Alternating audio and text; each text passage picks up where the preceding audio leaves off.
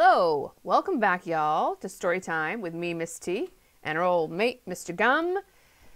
If your ears survived Chapter 10 and you have, in fact, come back for more, thank you. I think you must be a much more brave soul than I.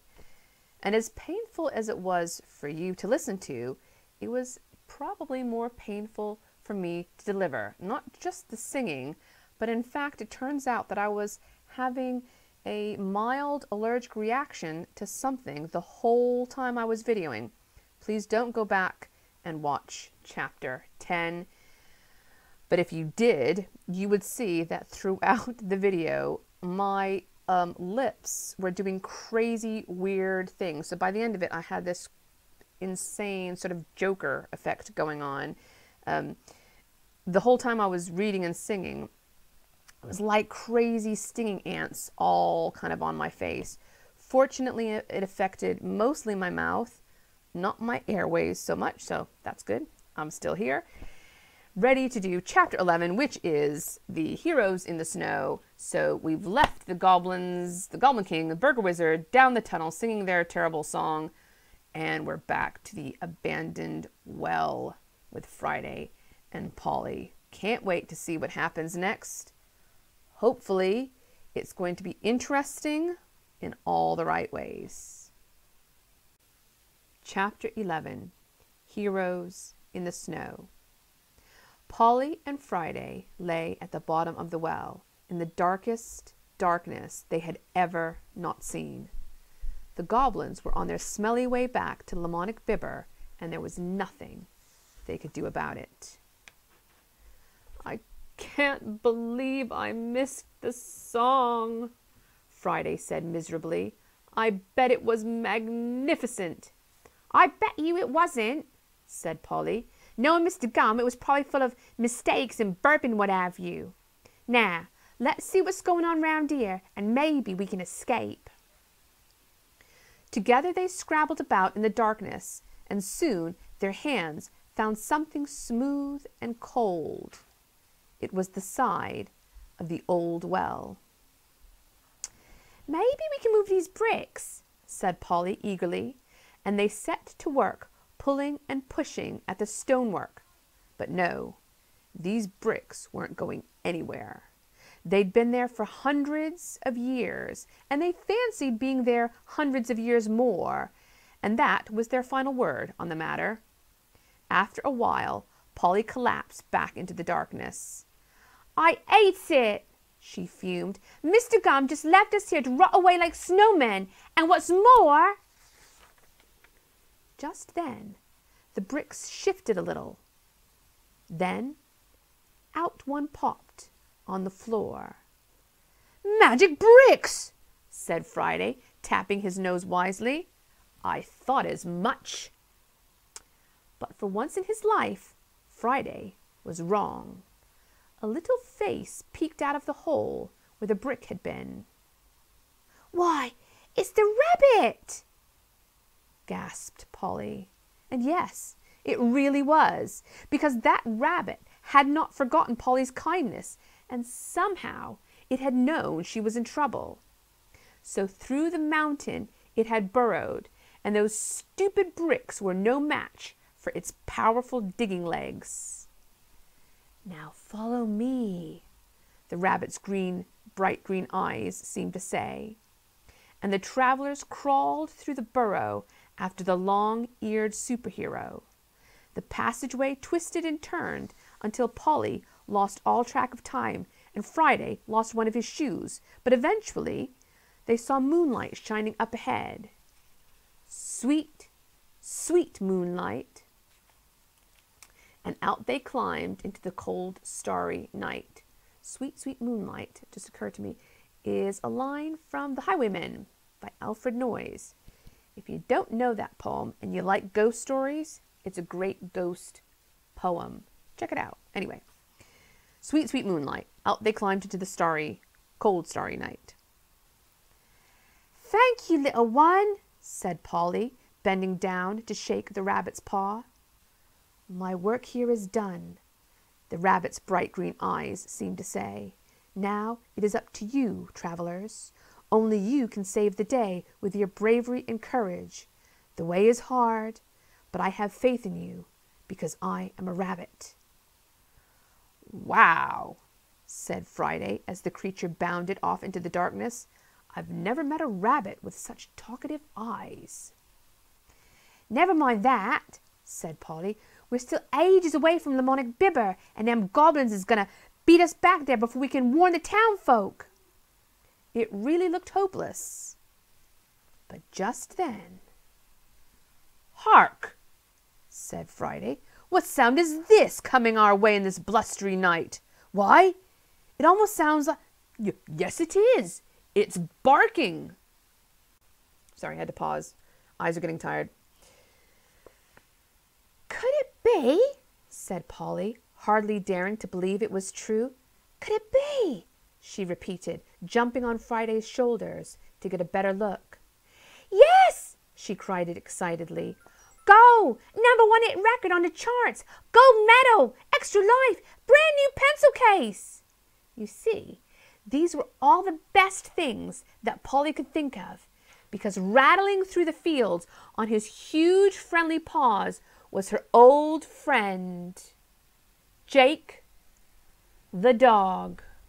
Love Jake the dog. I love Jake the dog. And what a fine, fine dog was he. There were sleigh bells all over his tail and an enormous Christmas tree stuck on his back. Do you reckon Jake got that out of Mrs. Wildsmith's house? I'd put money on it. And right at the top, like the star that he was, sat little Alan Taylor. There he's look. Scanning the fields with his juicy raisin eyes. There they are! The biscuity fellow beamed when he saw the travelers. And as Jake came belting towards them, Polly laughed to see who was steering him, for it was a little boy, no older than she. Spirit of the rainbow! She laughed in pure joy. Is it really you? Let's see, let's see. There he is, look. Of course, replied the lad as Jake pulled up and began licking Polly's eyebrows. I promised to come to your aid when the horn of Kazal Kazal was blown, and here I am. Thank you, sir, said Friday graciously, but there is one thing I have to ask. Couldn't you have come a bit sooner? Old man, replied the boy, when you blew that horn, I was in Newcastle, staying over at my cousin's. I had to catch the train, and it was delayed for ages. And then the taxi from the station broke down, so I had to walk the last two miles on foot. And then I had to. What? He asked, noticing Friday's surprise. You didn't think I would just magically appear when you blew the horn, did you? Oh, laughed the boy as the travelers climbed aboard Jake's festive back. The very idea. You humans do amuse me. And then they were all laughing together, for the idea of someone just magically appearing was simply ridiculous. But now there was no time to lose. Mush! cried the spirit of the rainbow, which is something you say to dogs to get them to run really fast through the snow. No one knows why. And Jake took off like a hairy bullet called Jake, and there they were, racing back to Lamonic Bibber in the moonlight. Alan Taylor, said Friday as they rode, how is my darling wife, Mrs. Lovely? Fine, thanks, chuckled Mrs. Lovely, popping her head out from inside the Christmas tree where she had been hiding for a surprise. I'm completely better now. Tra la la la la. The truth is a lemon meringue! shouted Friday happily. Mrs. Lovely jumped into his arms, and everyone pretended not to look while they done a bit of kissing and that. The rest of that night passed in a crazy, hazy daze with Jake woofing and yelling endlessly through the white, powdery snow. It was all down to that big bark machine now, and he ran like no dog has ever run before or since. Actually, one dog has run like that before. His name was Mop Mop, and it happened in Denmark in 1974. Mop Mop, Mop Mop was chasing a florist through the streets of Copenhagen. Who cares about Mop Mop? cried Polly. Come on, Jakey, run! Had to stop the video then for a minute because somebody is uploading their work on the website. And it's Sunday night. It's kind of late. Come on. Be 11. Don't worry about work on a Sunday night. Be 11. Do armpit farts. Annoy your sister. You know, something like that. And put your feet up. Again, let's find out about Jake in the frozen fields. And so over the frozen fields, big Jake ran, hardly even slipping on the icy bits. Through snowdrifts, great and small, bounding over walls, he leapt a country stile and ran for miles and miles, while night time turned to day. He ran a long, long way. In the jingle jangle morning, he went slobbing along. But is he slobbing along fast enough? That's what I wants to know, thought Polly anxiously. Have faith, child. The spirit of the rainbow reassured her as if he could read her brains. And if you can't have faith, have a fruit chew. Hey, that reminds me, said Polly, fishing out the fruit chew of Babylon from her skirt pocket. I got this great gift what you gave me. Patience, child, said the spirit of the rainbow. The fruit chew of Babylon is powerful, but it must be used at just the right moment.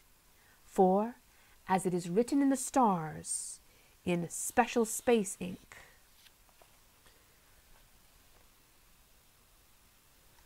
the fruit chew of Babylon will sort out the truth of it all.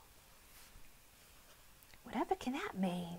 wondered Polly, but the spirit of the rainbow would say no more. And on they rode in silence, racing desperately against time. Fruit chew, fruit chew, fruit chew. Overhead, morning was breaking as Jake rounded one last corner and a familiar sight met Polly's eyes.